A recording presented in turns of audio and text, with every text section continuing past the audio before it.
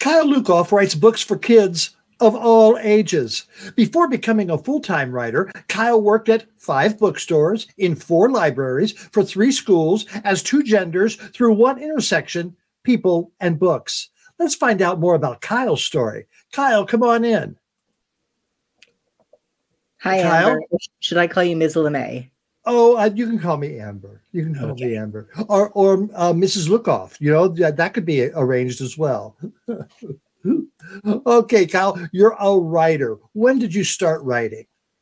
Well, I, when did I learn how to write, or did when did I try to start getting published? Because I think that was like when, no. When, when did you think about I, I, I'd like to write? I think it probably the best answer is probably right after college. I was kind of crazy, as a lot of 22 year olds are.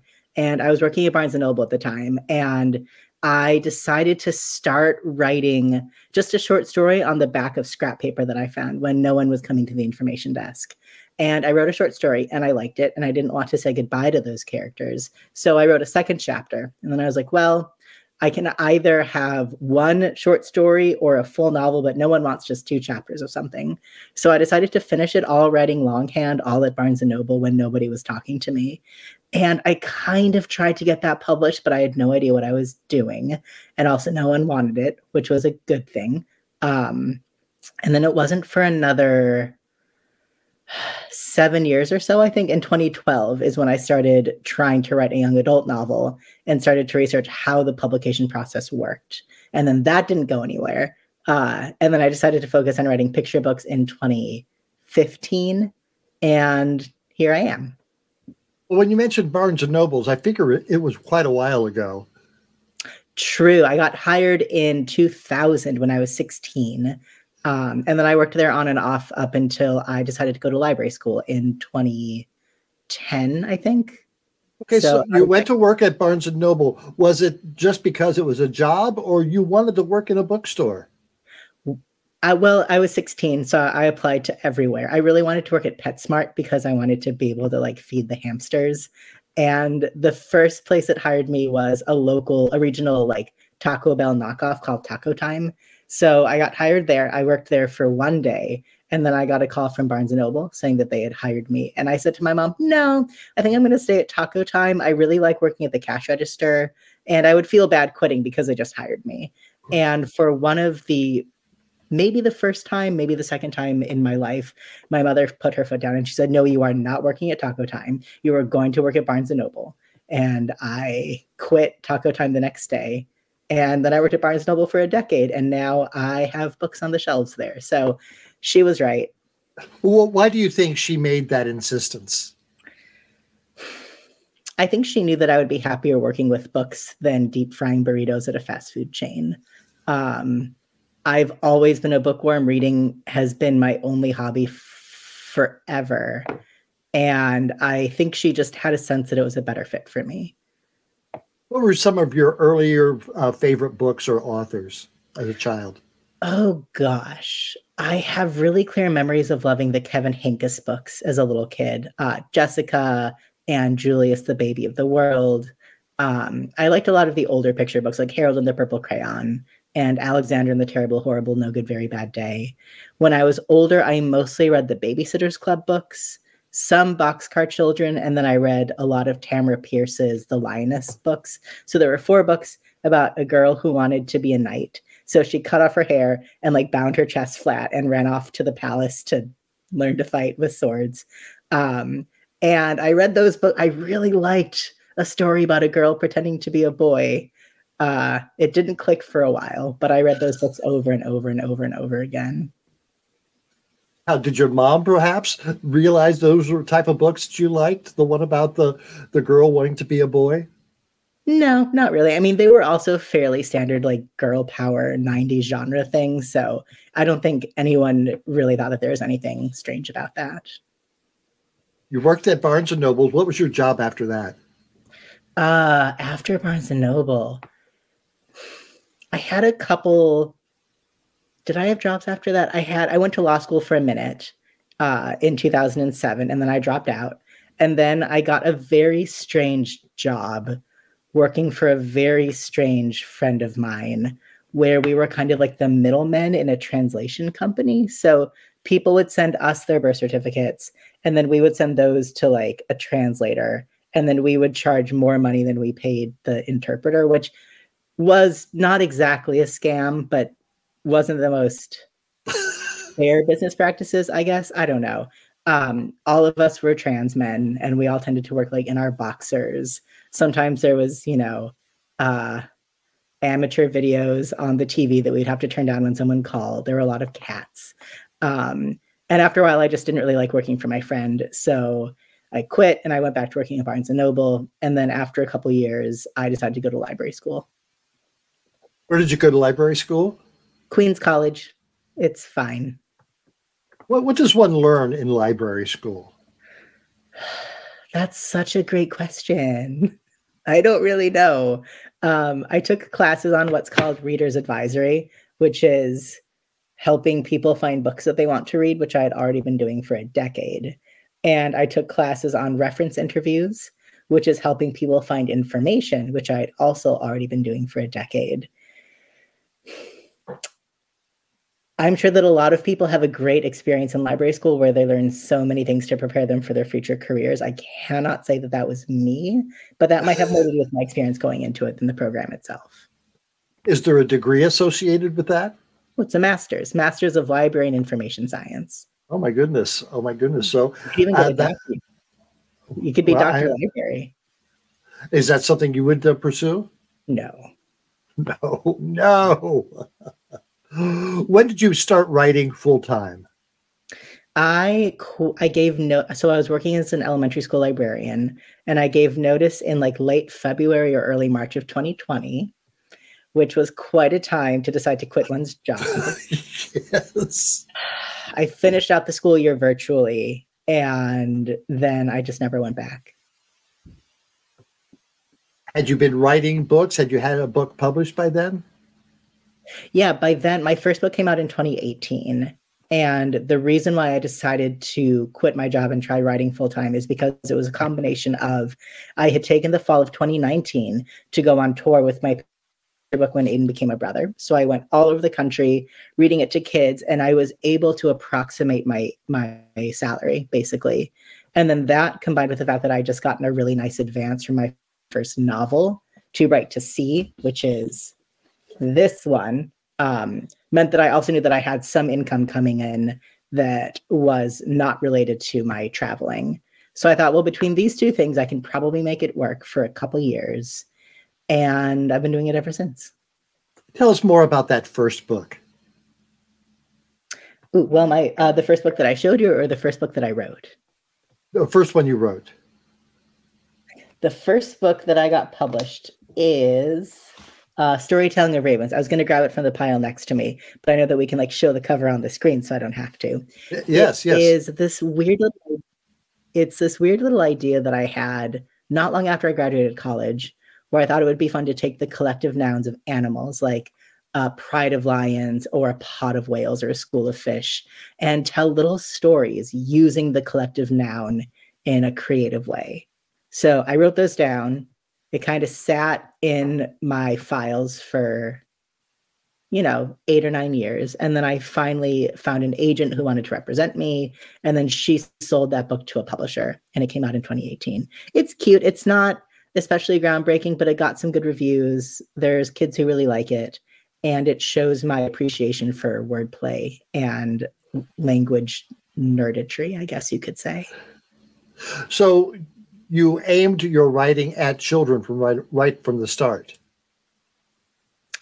Mm, that isn't exactly true, but I first started trying to be professionally published under my own name in a career making move writing for children. I had other more amateur publications prior to then, both under my real name and a pen name. All right, that um, that book about the ravens uh, came out. Did you finish up the uh, series of the animals and their their families? Uh, it's not. It's not a series though. It's just the one book. Okay, just one. Okay. Um, yeah. After that, what happened? What book? Uh, after that, I sold my second book called Explosion at the Poem Factory. which and, we can and, see on the screen. Yes. And that's an idea that I got from college. It is about a poem factory that explodes. It's also very nerdy. And I like doing school visits with that one because I do little poetry workshops centered around it. And then after that, I wrote When Aidan Became a Brother. And that is the book that one could say kind of put me on the map. Okay, tell us about the, the purpose of that or what the, the, the plot of that is.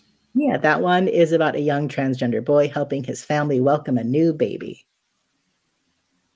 So it is about him, you know, coming out, telling his parents about himself, and then about him trying to make things more welcoming for his new sibling before they even show up. Oh, nice. Now, do you use the same illustrator for all your books? No, and that's also not my decision. It's always the editor at the publishing company that oh. chooses the illustrator. So mm, all of my books, with the exception of the series, are illustrated by different people. And I've been really happy with all of my illustrators so far. And that has to do with, you know, the the skill of the editor and the art director and the illustrator themselves. But it's not something that I have any control over really. Okay, let's go to that novel that you uh, you held up earlier. Tell me about that. Uh, my first novel is called Too Bright to See, and it is about a kid named Bug who lives in a haunted house.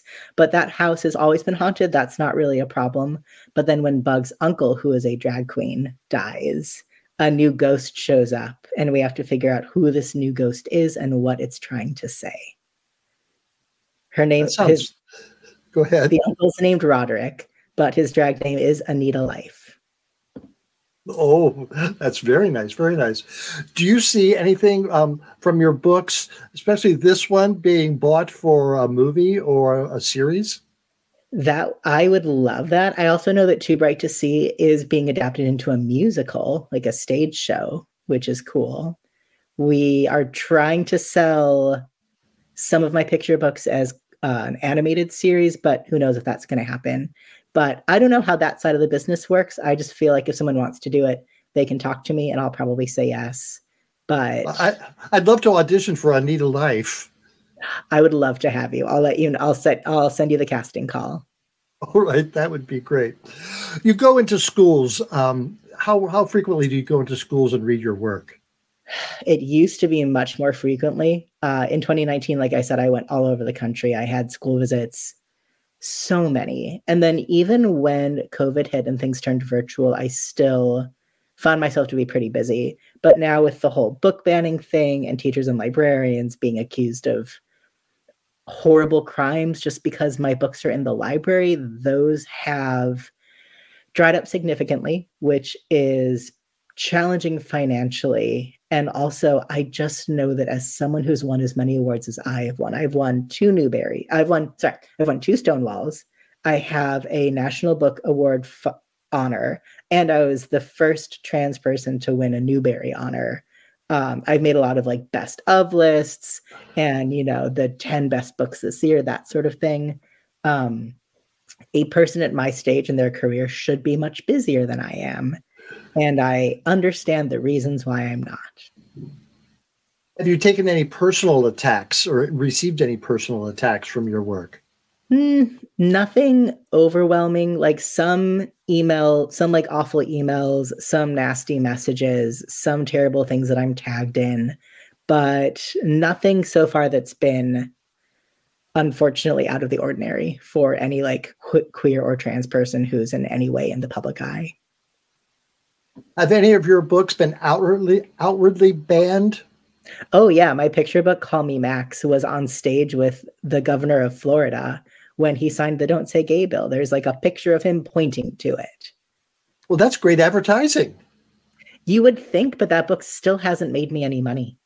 It still hasn't earned through its advance write write a book about uh, some child who attacks a governor or something that uh, run, runs runs for governor and, and defeats someone like that. Oh, that would be great. You, you can give me some credit on that. I will. I'll thank you and. I'll either dedicate it to you or thank you in the acknowledgments. what are you working on now? That's a good question. What am I working on now? Um, right now, I'm finishing up edits for my third novel, which doesn't really have a title yet. We're trying to come up with one, but it comes out in, in about a year. And it is about, it's my first novel with a Jewish character. and it's about a 14 year old trans kid fighting demons and making friends along the way. How long does it take you from, let's say, your initial idea to a book of a book to get it published? Every book is different. Um, I mean, obviously, the shorter a book is, well, actually, that's not necessarily true. Sometimes the shorter a book is, the less time it takes to write, but that is not always true. Too Bright to See, my first novel, took me about four years to finish, and then another two years, two and a half years to get published. But that's because I kept giving up halfway through. Whereas my novel, Different Kinds of Fruit, I wrote it in six months. And then it came out not, I think it came out like a year and a half after I finished it. So that one was much quicker. Um, I have a picture book out called Awake Asleep and I wrote that one in one evening, and it came out less than two years later. Whereas when Aidan became a brother, took probably a couple years for me to get it right, and then it came out about a year and a half after that. Well, it sounds um, like you must be working. You must be working on several books at, at the same time. Not necessarily. The way that publishing works is that it's kind of staggered. So, like, you can write a book and finish it, and it can sell, and then it might not come out for another 18 months to three years. And in those 18 months to three years, you can write a whole different book and then sell it. And then it might come out in 18 months to three years. Um, I usually try not to work on multiple projects at once because I don't like getting the voices in my head confused. I made that mistake once. I'm not going to do it again. Is there something that you haven't written about yet that you think, oh, someday I want to tackle this subject or I, I want to write about this? I have one more novel to write after the one that I'm working on now. And then once that one is completed, I am desperate to write a novel for adults. I think it'll be a nice vacation. I think it'll be easier because I get to use all the words in my vocabulary instead of just some of them. And I get to draw on all of my life experiences instead of just the ones that are appropriate for children to read about. I'm very excited. I bet you're going to be ready to write that one by then. Well, mm-hmm. Kyle Lukoff, thank you so much for joining us tonight. Fascinating story about your journey being a writer. Thank you for joining us. Thank you.